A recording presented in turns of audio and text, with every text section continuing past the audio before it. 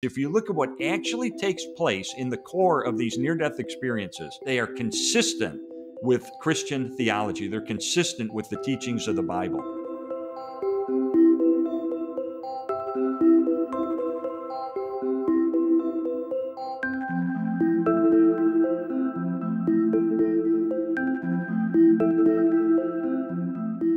I believe what the Bible teaches about the afterlife. But when, you know, I've also got a skeptical gear.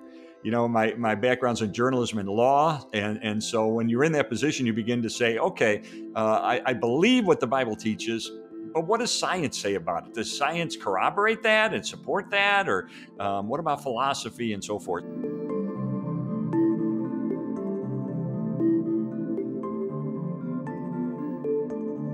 I was a skeptic about near death experiences until I found out we have 900 scholarly articles that have been written and published in um, scientific and medical journals over the last 40 years. This is a very well researched area. In fact, The Lancet, which is the famous medical journal in the United Kingdom, um, um, concluded in an article that all of the alternative explanations oh, this is oxygen deprivation, this is just hallucinations none of those can account for the of near death experiences. They just don't account for it.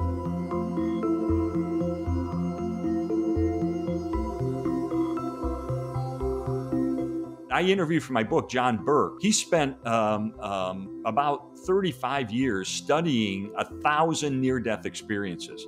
And his conclusion is, and this is powerful, his conclusion is if you look at what actually takes place in the core of these near death experiences, he said they are consistent with Christian theology, they're consistent with the teachings of the Bible.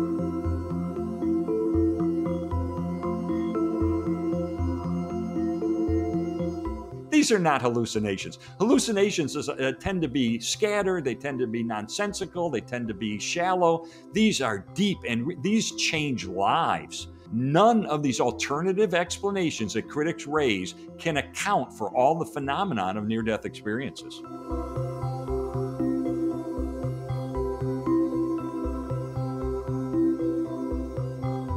My husband told me that I all of a sudden fell over in bed. My eyes were wide open uh, within a t- short time frame, I come above my body and I looked down and I could see my husband, I could see the doctors, the nurses, I could see them doing chest compressions on me.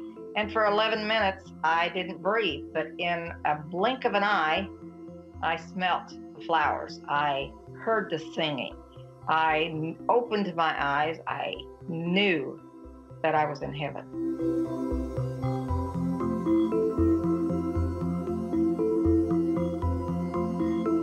So as I looked upon this infant at my mom and dad's feet, I couldn't understand who that was. I knew everybody else because it says in the Bible, we will be known as we were known. Uh, but I couldn't realize who that was. And God just told me, said, that's your child.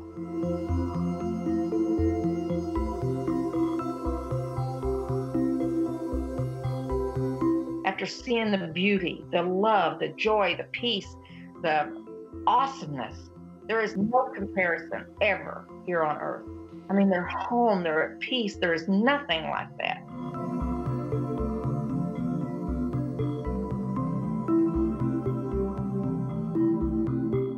I hope um, they're experiencing hope, encouragement, um, that this is not our uh, permanent home, that uh, there is a, uh, as Jesus uses a metaphor in John chapter 14, of a heaven's a home you know, you think of the what does home represent? Warmth, security, love, and so forth. And that is what uh, heaven is going to be.